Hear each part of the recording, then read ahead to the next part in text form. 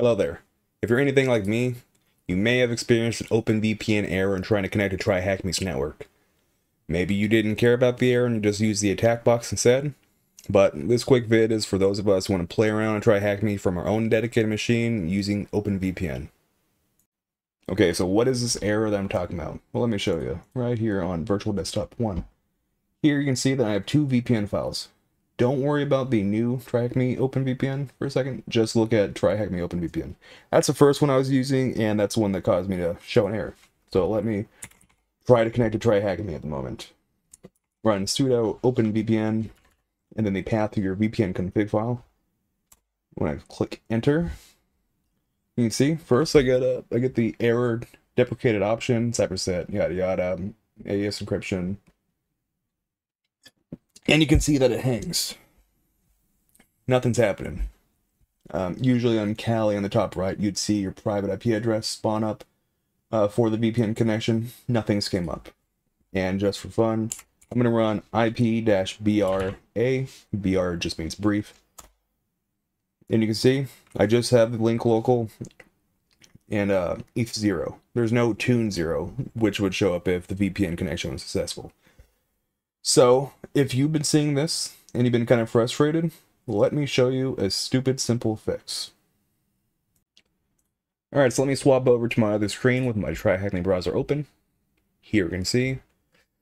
Uh, this is in one of the rooms. You can see access machines at the top.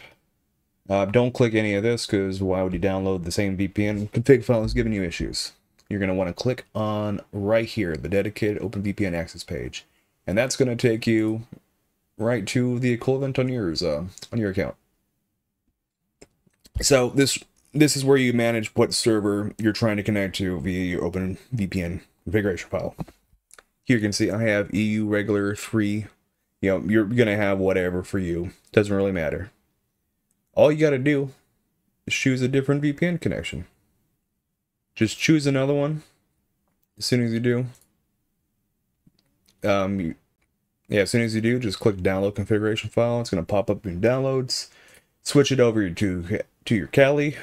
So now I'm going to go back to my thing.